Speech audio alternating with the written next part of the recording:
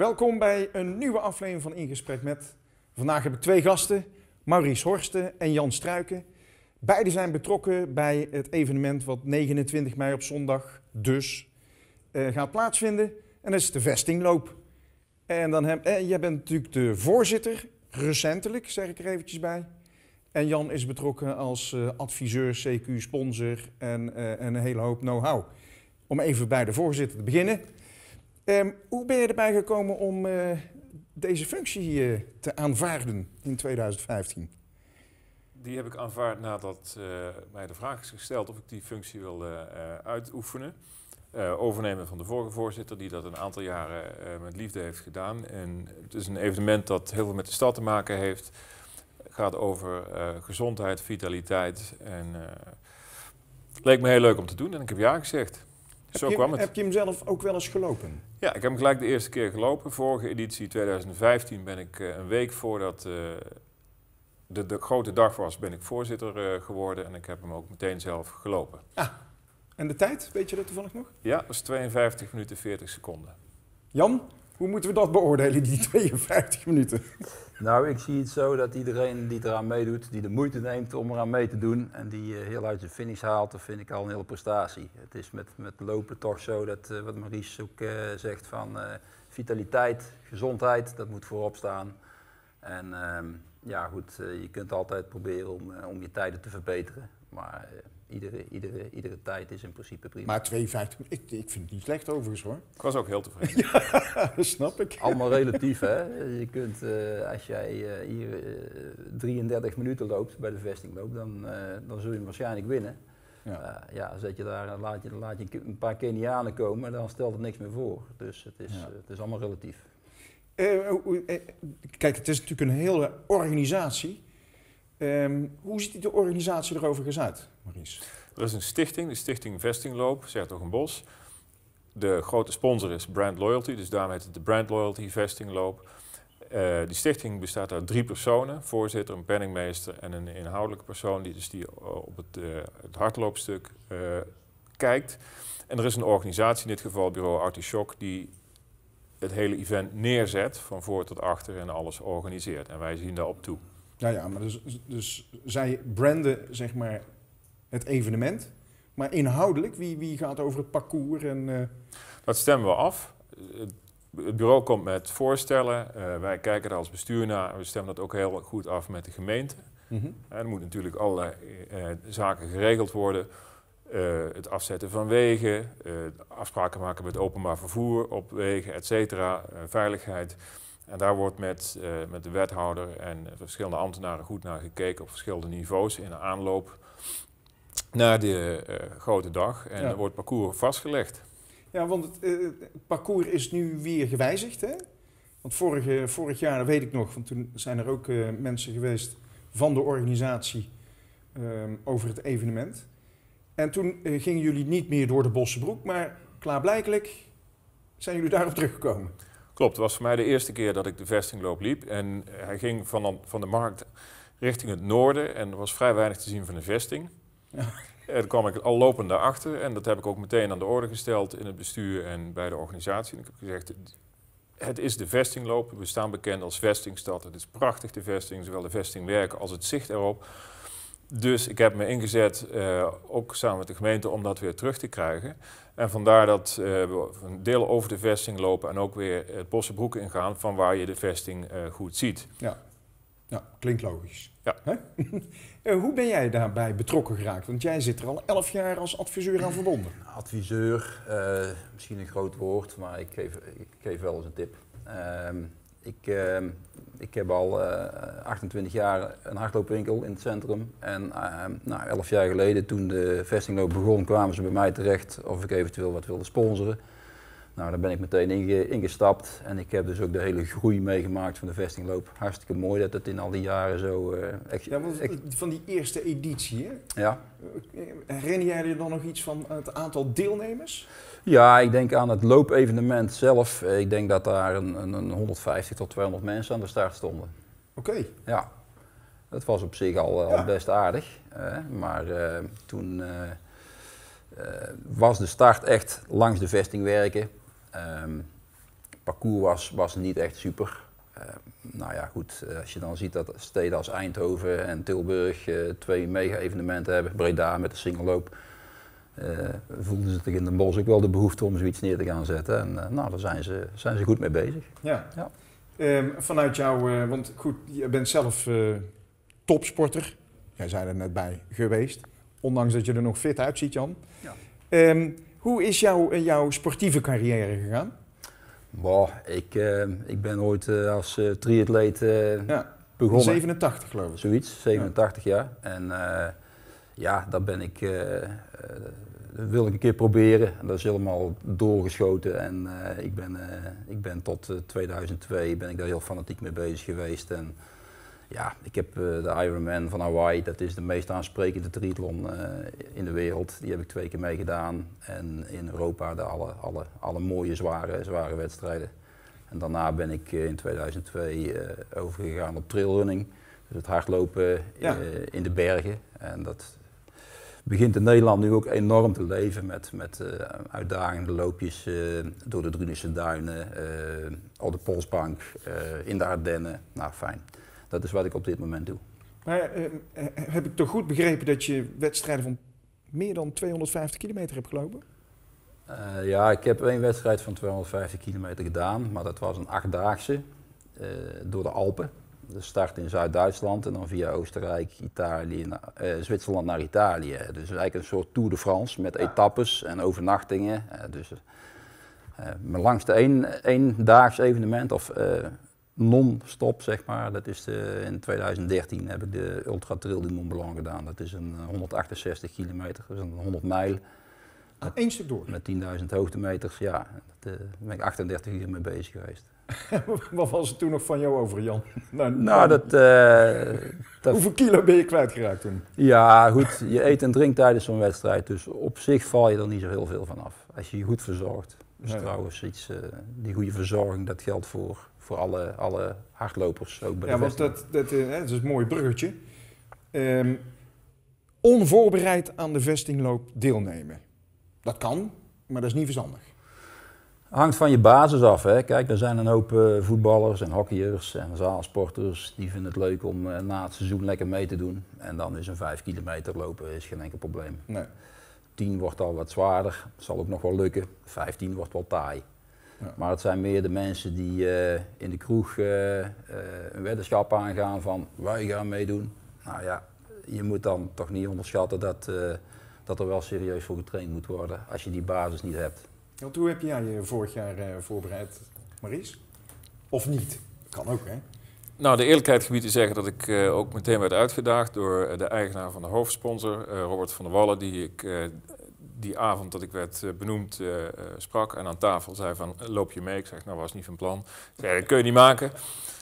Dus zei nou ik doe mee, maar dan ren ik met jou mee. Toen zei hij ja dat is goed. Ik zeg hoeveel ga eigenlijk lopen? Ik zei, zei hij tien. Ik zeg nou doe ik al mee. Ik moet zeggen ik had toen een aantal maanden niet gelopen. de donderdag ervoor was hemelvaart. Toen ben ik buiten nog even gaan oefenen en ik heb met hem de eerste negen kilometer gelopen. Daarna liep hij een klein beetje uit, dus toen moest ik hem laten gaan. Um, maar ik, nu, nu ren ik uh, één of twee keer in de week 10 kilometer. Oh, oké. Dus daar heb je er eigenlijk aan overgehouden. Ja, en het, het mooie vind ik dat uh, het evenement staat op de kalender. En het gaat dus niet alleen om het evenement zelf, maar ook die periode daarnaartoe, dat je er naartoe leeft en werkt. En het hoeft voor mij helemaal niet een, een super sportieve tijd te zijn, maar je bent wel al die periode, bijvoorbeeld die maanden, ben je daarmee bezig. Ja. En ik denk ook hè, bij bedrijventeams die dat samen gaan doen in die periode, die er heel veel uit kunnen halen om gezamenlijk te gaan sporten in voorbereiding op zo'n loop. En, en hebben jullie ehm, nog de ambitie om het zeg maar, uit te bouwen naar een landelijk event? Niet landelijk. We willen, uh, afgelopen jaar we 6200 deelnemers. We willen op termijn naar 10.000 deelnemers. We willen wel het, het beste, gezelligste loopevenement. loopevenement van Zuid-Nederland worden. Je hebt natuurlijk een aantal marathons in Nederland die echt goed te boek staan. Het is niet, er zijn er al genoeg van. Maar we willen wel in Zuid-Nederland de brand loyalty vestingloop echt goed op de, op de kaart zetten. En groeien naar 10.000 deelnemers de komende jaren. Dat is, dat is wel ambitieus, hè? 10.000. Ja, we hebben een ambitieuze hoofdsponsor.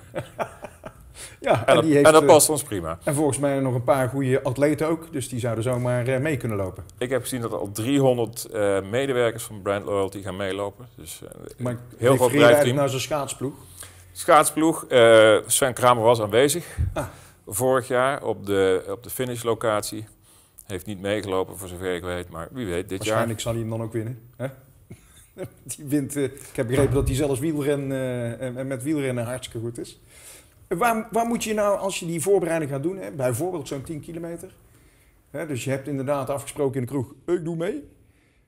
Hoe moet je dan trainen hiervoor? Eh, nou ja, je kunt, eh, je, kunt eh, je aanmelden bij een van de verenigingen hier in de buurt. Hè. We hebben Prins Hendrik in Vught, OS Solo, hè, die bij de organisatie betrokken is. loopgroep Rosmalen, je hebt hardloopclub Engelen. Ehm, je hebt de hardloopschool Wim Akkermans. Enfin, er zijn een hele hoop mogelijkheden om je eh, in, groepsverband, eh, om in groepsverband te trainen. Maar het mooie van hardlopen is natuurlijk ook dat je het kunt doen op het moment dat jou uitkomt. Ja. En er zijn tegenwoordig zijn er zoveel schemaatjes om naar een 10 kilometer toe te trainen. Je kunt dat eh, op internet halen. Eh, ehm, je kunt het, het aan een. Aan een eh, je, hebt, je, hebt, je, hebt, je hebt apps. Eh, ik weet niet of je wel eens van Evi hebt gehoord. Evi is een Belgische Ja, die- dame. Ja. Die werkt allemaal. Dat gaat allemaal via, via, de, via, de, mm, via een app op je telefoon. En die zegt precies wat jij moet doen. Ja. En eh, nou goed, op die manier kun je het ook doen. Maar het mooiste is om het met, met vrienden te doen. En, en, en om, ja, voor een 10 kilometer zeg ik van moet je gewoon minstens twee keer in de week lopen. Als je dan een goed schemaatje vindt. Dus Maries, eh, die En je moet een reëel doel stellen. Kijk, eh, als jij eh, voor de eerste keer een 10 kilometer loopt. nou, Maries liep vorig jaar 52 minuten. Nou, dan zou je kunnen zeggen van nou, ik ga trainen op een schema van 45 minuten. Nou, dan zoek je een schemaatje op van 45 minuten. Dan moet je iets harder trainen dus. En dan zit dat er wellicht in. Ja. Ja, en is het dan ook zo dat je, want daar onder lopers eh, verschillen daar nog wel eens van, van mening. Ehm, sommigen die, die zijn gewend om wat interval te doen, maar tijdens de wedstrijd eh, je eigen tempo lopen en niet zeg maar eh, kijken wat de rest doet. Wat, wat zou jouw advies zijn? Nou, inter- intervallen in de trainingen, dat doe je om, eh, om, een, om, een, om, om sneller te worden. Ja. Maar je moet, je moet wel weten wat je kunt. Dus als jij bij, bij, bij een 10 kilometer, na de eerste kilometer al een minuut sneller doorkomt dan je schema aangeeft, nou, dan gaat het niet goed aflopen. Hè? Dan, ga je, dan ga je over de hooi lopen en dan is het gewoon na 7 kilometer is het klaar. En dan val je heel, heel ver terug. Ja, die dus- verzuring, die, die, die- heb jij dat trouwens meegemaakt, Maries? Zo'n verzuringsaanval? Ni- Niet in die loop. Alleen, je merkte dat eh, eh, Robert was wel getraind en liep met zijn personal trainer. Nou ja. En die hield het schema goed bij. En bij hè, dus de eerste negen kilometer kon ik mee. Je gaat ook in het enthousiasme mee. En ik kon die versnelling gewoon niet volgen. Hè, aan het eind nog. En eh, ja, dan moet je gewoon op je eigen tempo door. Dat is En bovendien was hij de sponsor, dus hij moet natuurlijk winnen. Wat wilde jij zeggen, Jan? Nou, het is voor alle deelnemers, voor, zeker voor beginnende lopers die, die, die een keer meedoen, is de grootste valkuil te snel starten. Hè. Door dat startschot wordt gelost, die jongens die vooraan staan, die lopen toch allemaal veel harder. Maar iedereen laat zich in dat tempo meezuigen. Hè. Dus je, de, de, het grote gevaar is om, om die eerste kilometers te hard te gaan. En zeker bij warm weer, nou, dan krijg je de rekening dubbel gepresenteerd later in de wedstrijd. Ja, want weer is natuurlijk toch altijd wel een belangrijke speler eh, in zo'n eh, in zo'n loop. Want ja, als het regent, eh, is natuurlijk ook niet echt heel prettig. Maar als het warm is, dan kan dat ook weer nadelige gevolgen hebben. Ja. Eh, wat moet je doen als het, als het nou prachtig weer is zondag? Nou, je moet eh, al de dag ervoor beginnen. Ehm, je moet zorgen dat je de dag ervoor goed drinkt. Water het liefst.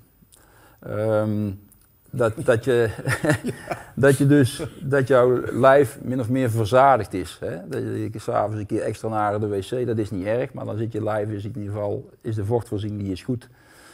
Ehm, een hoop mensen maken de fout om op de dag zelf eh, vier, vijf glazen water weg te gooien. Ja, dan krijg je een op, eh, opgeblazen gevoel. Dat moet je zien te voorkomen.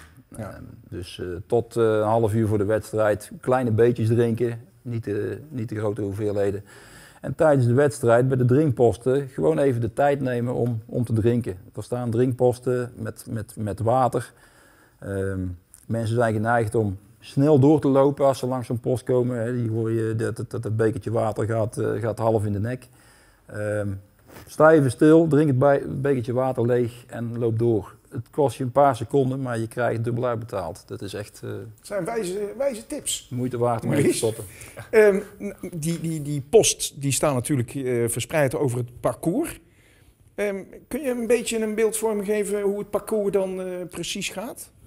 Ja, we hebben naast het feit dat we de vesting terug in beeld hebben gebracht eh, vanaf, vanaf deze editie, hebben we ook ervoor gekozen om het nieuwe deel van de stad, het Paleiskwartier, te betrekken bij de vestingloop. En daarom heb je dat gedaan? nou, we starten op de Onderwijsboulevard. En eh, vervolgens, eh, na een rondje aan die kant van de stad, gaan we onder het spoor door. En dan de stad in, over de vesting, langs waar de, plek waar de graduate school komt. Ja. en dan naar het zuiden richting Vught, de eh Bossenbroek in. En op zo'n manier pakken we eigenlijk het paleiskwartier, dat langzaam een heel volwassen deel van de stad begint te worden, betrekken we bij die vestingloop. Net zoals het zand vroeger hè, werd door mensen gezien als iets wat eh, toen het nieuw was, nou dat hoorde eigenlijk helemaal niet bij de stad. Nu heb je het paleiskwartier, dat is in mijn ogen dezelfde situatie, alleen 100 jaar verder. En we proberen ons steentje daaraan bij te dragen om eh, de wijk met, eh, met alles wat daarbij hoort eh, erbij te betrekken. Het leuke is ook dat aan die onderwijsboulevard zitten een aantal grote scholen. Ja. We hebben ook een kortingsprogramma voor studenten. En we hopen ook dat meer studenten dan voorheen eh, mee gaan doen met de vestingloop. Eh, nu is het zo, nou, nou snij je het ook mooi aan, hè? studenten. Nou, dan, die moeten dus goed opletten als, ze als ze dit nu zien. Hè, want per slotverrekening zullen er ook een hoop studenten meedoen die niet voorbereid zijn. Ehm, even tot slot, hè, want eh, de tijd zit er alweer bijna op, hoorde ik in mijn oortje. Ehm, studenten die gaan eh, hopelijk een, eh, zeg maar bijdragen aan zeg maar, het groter worden van, van de vestingloop.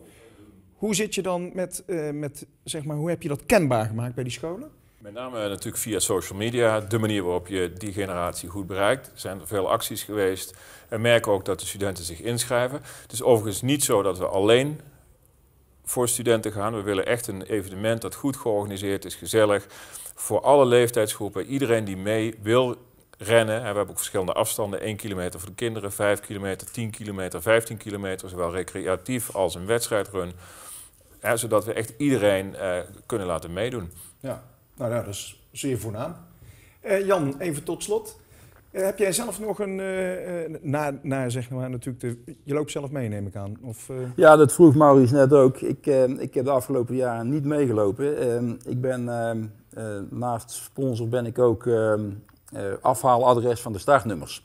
Dus alle deelnemers die ingeschreven hebben, die kunnen in de week vooraf kunnen ze bij mij in de winkel er startnummer op komen halen.